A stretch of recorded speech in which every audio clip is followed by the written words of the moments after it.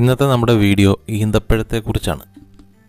ഈന്തപ്പഴം വാങ്ങാൻ പോകുമ്പോൾ എന്തൊക്കെ കാര്യങ്ങളാണ് ശ്രദ്ധിക്കേണ്ടത്? അതുപോലെ തന്നെ ഷുഗറുകാർ ഇതെങ്ങനെയാണ് കഴിക്കേണ്ടത് പിന്നെ ഇതിന്റെ ഗുണങ്ങളാണ്. എന്തിനൊക്കെ വേണ്ടിയിട്ടാണ് ഈന്തപ്പഴം കഴിക്കുന്നത്? അങ്ങനത്തെ കാര്യങ്ങളൊക്കെയാണ് നമ്മൾ ഇതിൽ ഉൾപ്പെടുത്തിയിരിക്കുന്നത് ഈന്തപ്പഴം വാങ്ങാൻ പോകുമ്പോൾ നമ്മൾ ഫസ്റ്റ് മുൻഗണന കൊടുക്കേണ്ടത് കറുത്ത കളറിലുള്ള ഈന്തപ്പഴം മേടിക്കാൻ വേണ്ടിയിട്ടാണ്.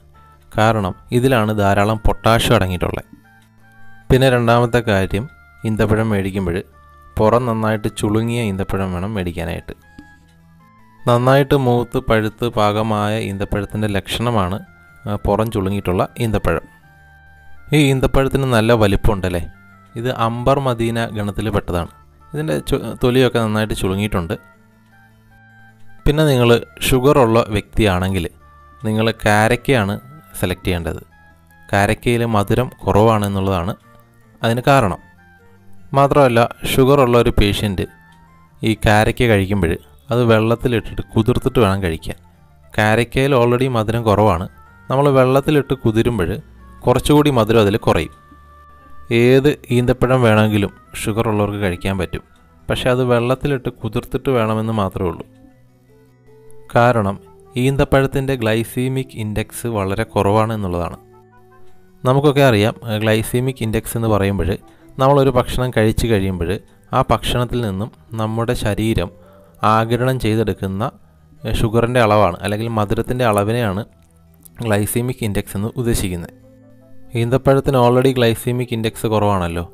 അപ്പോൾ അതിന്റെ കൂടെ നമ്മളത് വെള്ളത്തിലിട്ട് കുതിർത്ത് കഴിക്കുമ്പോൾ അതിന്റെ മധുരം നേർ പകുതിയായിട്ട് വീണ്ടും കുറയും. അപ്പോൾ കുറച്ചുകൂടെ ധൈര്യത്തിൽ നമുക്ക് ഈന്തപ്പഴം ഷുഗർ ഉള്ളവർക്ക് കഴിക്കാൻ പറ്റും. ഒരു രണ്ട് മൂന്ന് മണിക്കൂർ വെള്ളത്തിൽ കുതിരാനായിട്ട് ഇട്ട് വയ്ക്കണേ. സോലിബിൾ ഫൈബർ ധാരാളം ഈന്തപ്പഴത്തിൽ അടങ്ങിയിട്ടുണ്ട്. നാരുകൾ അടങ്ങിയ ഭക്ഷണം ധാരാളം കഴിക്കണമെന്ന് നമ്മൾ പലരിൽ നിന്ന് കേട്ടിട്ടുണ്ടാവും. അല്ലെങ്കിൽ ഡോക്ടർമാരൊക്കെ നമ്മളോട് പറഞ്ഞിട്ടുണ്ടാവും. അപ്പോൾ ധാരാളം നാരുകൾ ഈ ഈന്തപ്പഴത്തിന്റെ പുറന്തോടിൽ അടങ്ങിയിട്ടുണ്ട്. ഈ കുടലിന്റെ പ്രശ്നങ്ങൾ പരിഹരിക്കാനും മലബന്ധം പോലെയുള്ള പ്രശ്നങ്ങൾ പരിഹരിക്കാനൊക്കെ ധാരാളം നാരുകൾ അടങ്ങിയ ഭക്ഷണം നമ്മൾ കഴിക്കേണ്ടി വരും. അതുപോലെ ഫാറ്റി ലിവറുള്ള ആൾക്കാരുണ്ട്. അവരും ധാരാളം നാരുകളടങ്ങിയ ഭക്ഷണം കഴിക്കാൻ ഡോക്ടർമാർ നിർദ്ദേശിക്കാറുണ്ട്. നമ്മുടെ ഈന്തപ്പഴത്തിൽ വലിയ തോതിൽ ഫൈബർ അടങ്ങിയിട്ടുണ്ട്. സ്ഥിരമായിട്ട് ഈന്തപ്പഴം കഴിക്കാൻ പ്ലാൻ ഉണ്ടെങ്കിൽ അമ്പർ മദീന പോലെ ഉള്ളതാണെങ്കിൽ ഒരു മൂന്നെണ്ണമൊക്കെ രാവിലെ നമ്മൾ കഴിച്ചാൽ മതിയാവും. അത് സ്ഥിരമായിട്ട് കഴിക്കുന്നവരാണ്. അതിൽ കൂടുതൽ കഴിക്കരുത്. കാരണം ഇതിൽ മിനറൽ വൈറ്റമിൻസ് ഒക്കെ ധാരാളമാണ് അടങ്ങിയിട്ടുള്ളത് അപ്പോൾ നമ്മൾ ഇത് ഒരുപാട് കഴിച്ചു കഴിഞ്ഞാൽ ഇതൊക്കെ നമ്മുടെ ശരീരത്തിൽ ഇതിന്റെയൊക്കെ അളവ് കൂടുമ്പോൾ അതിന്റേതായ അസുഖങ്ങൾ നമുക്കുണ്ടാവും. ഇനി ചെറിയ ഈന്തപ്പഴമൊക്കെ ആണെങ്കിൽ ഒരു ആറെണ്ണമൊക്കെ ഒരു ദിവസം നമുക്ക് കഴിക്കാവുന്നതാണ്. ഇനി കുട്ടികൾക്കാണെങ്കിൽ വലിയ ഈന്തപ്പഴമാണെങ്കിൽ ഒരെണ്ണം കൊടുത്താൽ മതിയാവും. ചെറുതാണെങ്കിൽ ഒരു മൂന്നെണ്ണമൊക്കെ കൊടുക്കാം. ചെറിയ കുട്ടികളിൽ കാലുകഴപ്പ് ഒരു നിത്യ സംഭവമായിരിക്കും. അപ്പോൾ നമ്മുടെ ഈ ഈന്തപ്പഴത്തിൽ മഗ്നീഷ്യം ഫോസ്ഫറസും ഒക്കെ ധാരാളം അടങ്ങിയിട്ടുണ്ട്. അപ്പോൾ കാലുകഴപ്പ് മാറ്റാനുള്ള കഴിവ് അതിനുണ്ട്. അപ്പോൾ നമ്മൾ സ്ഥിരമായിട്ടൊരു മൂന്നെണ്ണം രാവിലെ കുട്ടികൾക്ക് കൊടുക്കുക. കാലുകഴപ്പിലൊക്കെ നല്ല മാറ്റം ഉണ്ടാവും. ഈന്തപ്പഴം നമ്മൾ കടയിൽ നിന്ന് വാങ്ങിക്കഴിഞ്ഞാൽ കഴുകിയിട്ട് വേണം ഉപയോഗിക്കാനായിട്ടേ. അമിനോ ആസിഡ്സ് ധാരാളം ഈന്തപ്പഴത്തിൽ അടങ്ങിയിട്ടുണ്ട്. മേജറായിട്ട് മൂന്നെണ്ണമാണ് ഉള്ളത്. ഒന്ന് ഫ്ലേവനോയിഡ് അമിനോ ആസിഡ്സ് ഉണ്ട് പിന്നെ ഫിനോലിക് ആസിഡ്സ് ഉണ്ട് പിന്നെ കരാട്ടിനോയിഡ്സ് ഉണ്ട്. ഇത് മൂന്നിന്റെ ഫങ്ഷൻ ഞാൻ ചെറുതായിട്ടൊന്ന് പറയാം. ഈ ഫ്ലേവനോയിഡ് അമിനോ ആസിഡ്സ് നമ്മളെ സഹായിക്കുന്നത് നമ്മുടെ സെല്ലുകളെ റിപ്പയർ ചെയ്തുകൊണ്ടാണ്.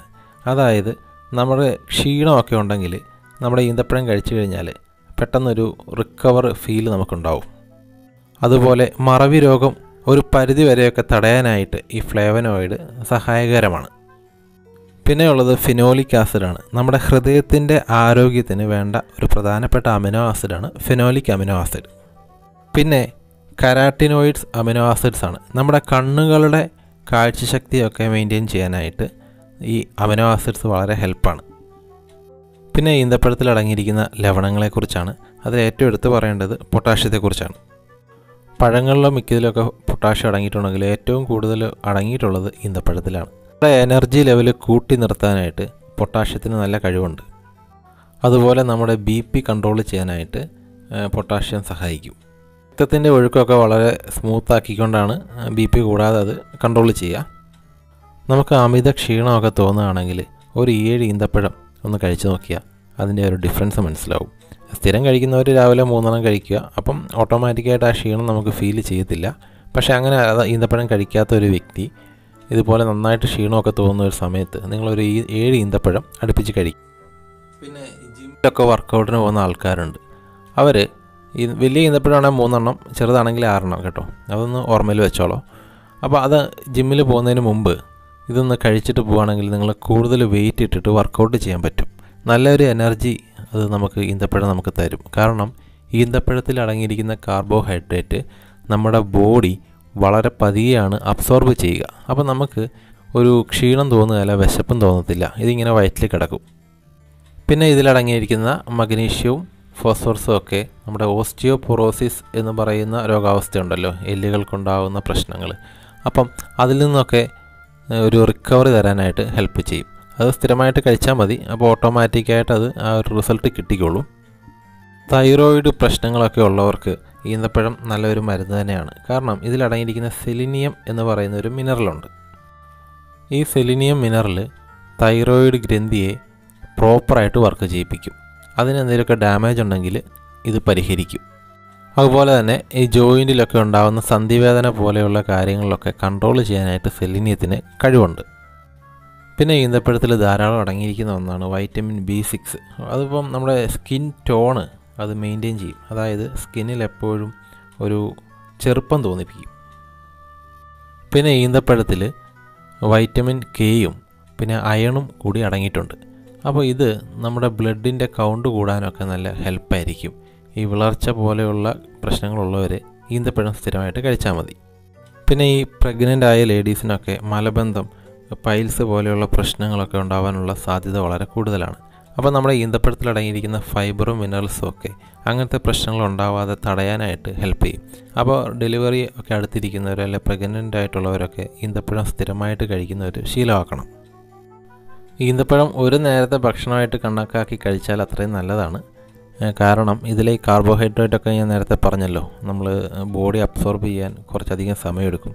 അപ്പോൾ അത് വരെ ഇത് നമ്മുടെ വയറ്റിലുണ്ടാവും. ഒരു വിശപ്പ് നമുക്കിത് ഫീൽ ചെയ്യത്തില്ല ഈന്തപ്പഴം കഴിച്ചു കഴിഞ്ഞാൽ മറ്റുള്ള ഭക്ഷണത്തിന്റെ കൂടെ കഴിക്കുമ്പോൾ നമുക്ക് ഒരുപാട് ഭക്ഷണം കഴിച്ച ഒരു ഫീലിംഗ് ഉണ്ടാവും.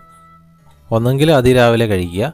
അതല്ലെങ്കിൽ ഒരു പതിനൊന്ന് മണി പത്തര ആ ടൈമിൽ കഴിക്കുക. അതായത് നമ്മൾ ഒമ്പത് മണിയൊക്കെ ആകുമ്പോൾ ബ്രേക്ക്ഫാസ്റ്റ് കഴിക്കുമല്ലോ. ഒമ്പത് മണിക്ക് മുൻപ് ബ്രേക്ക്ഫാസ്റ്റ് കഴിക്കുന്നതാണ് ഏറ്റവും ഉത്തമം.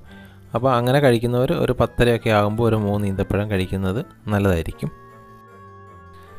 പിന്നെ ചില ആളുകൾക്ക് ഈന്തപ്പഴം കഴിക്കുമ്പോൾ വയറുവേദന അനുഭവപ്പെടാറുണ്ട്.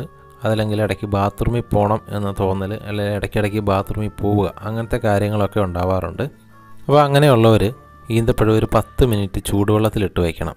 അങ്ങനെ ഇട്ട് വയ്ക്കുമ്പോൾ നമ്മുടെ ധാരാളം ഫൈബർ അടങ്ങിയിരിക്കുന്ന ഈന്തപ്പഴത്തിന്റെ പുറന്തോടിലാണ്. ആ പുറന്തോട് ചൂടുവെള്ളത്തിൽ കിടന്നു കഴിയുമ്പോൾ നമുക്ക് പെട്ടെന്ന് ഇളക്കി മാറ്റാൻ പറ്റും. ആ പുറന്തോട് ഇളക്കി കളഞ്ഞിട്ട് നമുക്ക് ഈന്തപ്പഴം കഴിക്കാവുന്നതാണ്. പിന്നെ മാസത്തിൽ ഒരിക്കലൊക്കെ ഈന്തപ്പഴം കഴിക്കുന്നവർ ഒരു ഇരുന്നൂറ് ഗ്രാമൊക്കെ അടുപ്പിച്ച് കഴിക്കുന്നതിൽ തെറ്റില്ല. ചില ആൾക്കാർക്ക് ഈ ഫൈബർ ധാരാളം നമ്മുടെ വയറ്റിലോട്ടൊക്കെ ചെല്ലുമ്പോഴാണ് ഈ മേൽ പറഞ്ഞ പോലെ വയറുവേദനയും അല്ല വയറ്റിൽ നിന്ന് പോവുക അങ്ങനത്തെ കാര്യങ്ങളൊക്കെ ഉണ്ടാവുക. അപ്പോൾ നമ്മൾ ഈ ചൂടുവെള്ളത്തിലൊക്കെ ഇട്ട് ഇങ്ങനെ കഴിച്ച് കഴിയുമ്പോൾ ആ പ്രശ്നം പരിഹരിക്കാൻ പറ്റും. ബോഡിയുടെ പ്രവർത്തനം സ്മൂത്ത് ആക്കാനായിട്ട് ഈന്തപ്പഴം വളരെ ഇമ്പോർട്ടന്റ് ആയിട്ടുള്ള ഒരു റോൾ വഹിക്കുന്നുണ്ട്. നമുക്ക് മറ്റുള്ള മരുന്നുകൾ കഴിക്കുന്ന പോലത്തെ ഒരു ഇറിറ്റേഷൻ ഫീൽ ചെയ്യത്തില്ല. കാരണം ഇത് മധുരമാണല്ലോ നല്ല ടേസ്റ്റുമാണ് അപ്പോൾ ഈന്തപ്പഴം കഴിക്കുന്നത് ഒരു ശീലമാക്കണം. പക്ഷേ ഒരേ സമയം ഒരു വലിയ ക്വാണ്ടിറ്റി ഈന്തപ്പഴം ഒരിക്കലും കഴിക്കരുത്. അത് സ്ഥിരമായിട്ട് വലിയ ക്വാണ്ടിറ്റി ഒരിക്കലും കഴിക്കരുത്. പിന്നെ രാവിലെ ബ്രേക്ക്ഫാസ്റ്റിനൊപ്പം ഒരു ആറ് ഈന്തപ്പഴവും വലുതാണെങ്കിൽ മൂന്നെണ്ണം മതിയാവും. ഒരു ഗ്ലാസ് പാൽ ഒരു കോഴിമുട്ടയൊക്കെ നമ്മൾ ഉൾപ്പെടുത്തുകയാണെങ്കിൽ നമ്മുടെ സെക്ഷുവൽ ആയിട്ടുള്ള കാര്യങ്ങളൊക്കെ വളരെ സൂപ്പറായിരിക്കും ആണിനും പെണ്ണിനും ഇത് ഉൾപ്പെടുത്താവുന്നതാണ്. അപ്പോൾ ഈന്തപ്പഴത്തിന്റെ ഒരുവിധ എല്ലാ കാര്യങ്ങളും ഇവിടെ അവതരിപ്പിച്ചിട്ടുണ്ട്. ആദ്യമായിട്ട് എന്റെ ചാനൽ കാണുന്നവർ ചാനലൊന്ന് സബ്സ്ക്രൈബ് ചെയ്ത് സപ്പോർട്ട് ചെയ്യണേ. നിങ്ങൾക്ക് ഉപകാരപ്പെടുന്ന മറ്റൊരു വീഡിയോയുമായിട്ട് വീണ്ടും വരാം.